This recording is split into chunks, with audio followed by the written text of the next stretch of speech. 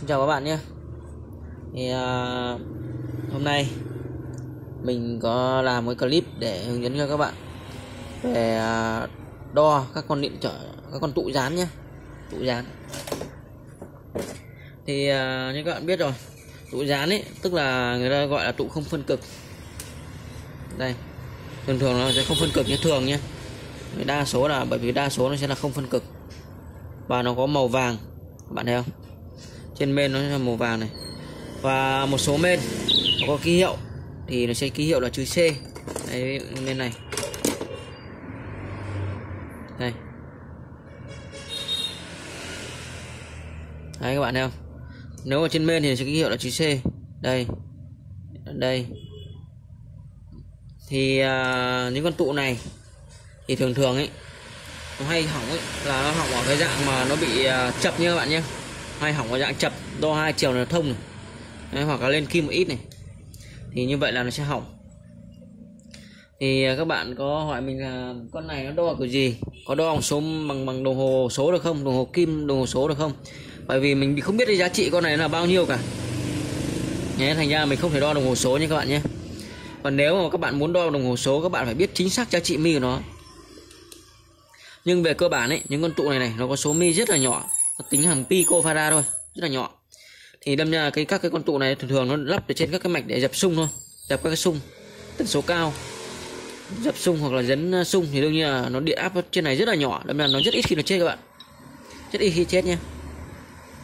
Mà nếu nó có chết ý, thì nó sẽ chết ở dạng chập chứ không có chết ở dạng đất đâu nha. Đa số là như vậy. Này còn à, điện tử này thì không nói trước vấn đề gì cả. Thì à, đối với trường hợp này để các bạn có thể là thay con thứ tương đương, thay nó. Thì các bạn à, vì lý do là con này là không có thông số gì cả. Đâm ra nếu mà để thay tương đương nó thì các bạn để ý cho mình này. Các bạn để ý này. Cái con này của mình ấy là nếu mà các bạn muốn thay tương đương nó thì các bạn để ý trên lưng của nó ấy. Nó sẽ có màu. Bạn thấy không? Màu này. Con con này màu vàng này, con này màu vàng nhạt này, con này màu cam này. Con này màu vàng, con này màu vàng nhạt này. Hai này màu vàng nhạt này. Đây, hai con này vàng nhạt này. Con này màu trắng này con màu cam này. Đấy. Thì các bạn thay thì bạn phải thay đúng màu. Đúng màu nhá. Hoặc là các bạn có thể là nhấc ở vị khác qua. Cùng kích thước. Không đúng màu thì các bạn phải cùng kích thước thay vào. Đấy, nếu mà thay vào mà không được thì các bạn phải thả ra ngay. Phải trả lại vị trí ban đầu nó ngay. Không nên để đánh thêm bệnh cho nó. Thì là thứ nhất. Là thứ hai là để đo nó ấy, thì như mình bảo rồi nó không mấy khi nó chết đứt cả. Mà nó hay chết ở dạng là chập. Đây ví dụ mình có một con này đây, một con này. Thì bây giờ mình sẽ tháo thử cho các bạn xem nhé. Đây. Con tụ này thì tháo rất đơn giản các bạn. Các bạn chỉ cần cho mình là nhựa thông này. Nhựa thông này. Nhựa thông vào hai bên của con tụ này, sau các bạn di một lúc là nó ra. Đấy, các bạn thấy không? Đấy, các bạn thấy không? Như vậy là con tụ này của mình nó đã ra rồi này.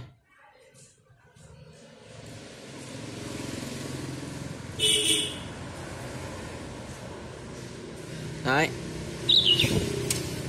Vậy là mình đã ra con tụ này rồi. Còn đo nó hay sao? Các bạn sử dụng đồng hồ cho mình, không cần phải cân chỉnh đâu nhé.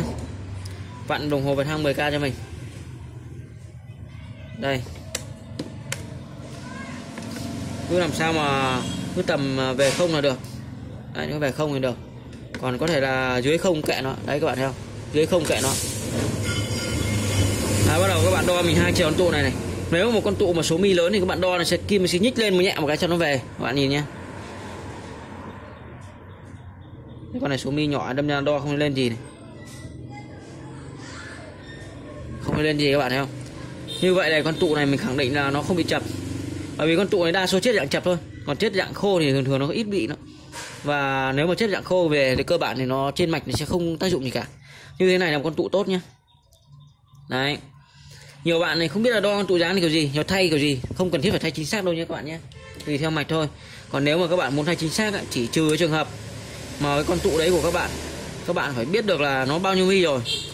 Và thường thường những con tụ mà số mi mà lớn quá thì thường thường là nó nó lại nó lại không cần thiết phải phải không cần thiết phải ờ, thay chính xác bởi vì là trên mạch nó còn rất nhiều con tụ nó song song. Đấy, một con này nó bị thì không vấn đề gì cả. Mình thay thì mình chỉ việc là tìm một con là có à, cùng kích thước này và cùng màu sắc là được. Còn nếu mà mấy con tụ này này nó chết này thì các bạn hỏi mình này có một số bạn hỏi mình là nếu những con này nó hỏng thì có thay bằng con tụ khác được không? Mình khẳng định luôn là được nha các con tụ này hỏng thay bằng con tụ khác bình thường các bạn này thay bằng các con tụ gốm. Đây, mình à, lôi cho bạn xem. Các bạn hoàn toàn thể thay bằng những con tụ gốm này. Đấy tụ một này một một hai, một ba, một bốn, vân vân. Nếu mà nó hỏng.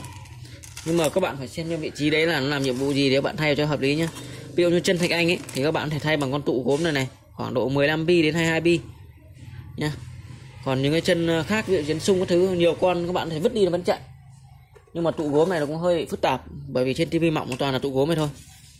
Thế mà tụ gốm mà trên tivi mỏng này thì nó hay chết dạng chập. Mình gặp ở chết dạng chập mình toàn là vứt đi thôi. Vứt đi nó vẫn chạy bình thường. Đấy trừ con à, các con tụ ấy nhá tụ bốt nhá. Tụ bốt thì bạn không được vứt đi. Tụ bốt ở trên à, các cái ổ nắp nguồn ấy. Bạn nào à, à trước lấy cái bộ tài liệu à, ổ nắp nguồn này các bạn biết. Đấy còn đây là cái con tụ này. Đấy, màu sắc này thường thường nó có các màu sắc khác nhau này và kích thước nó giống khác nhau này thì các bạn thay đúng kích thước và đúng màu sắc là được nhiều con các bạn vứt đi vẫn chạy bình thường thì đâm ra là à, các bạn này không đừng có quan trọng với con này nhé nếu mà các bạn nghi ngờ các bạn có thể vứt nó ra nha rồi à, chúc các bạn là xem sau khi xem video này các bạn thể hiểu hơn à, về các cái con tụ dán này thì còn thì vấn đề gì các bạn không hiểu các bạn thể bình luận bên dưới để mình làm các cái video phục vụ các bạn nhé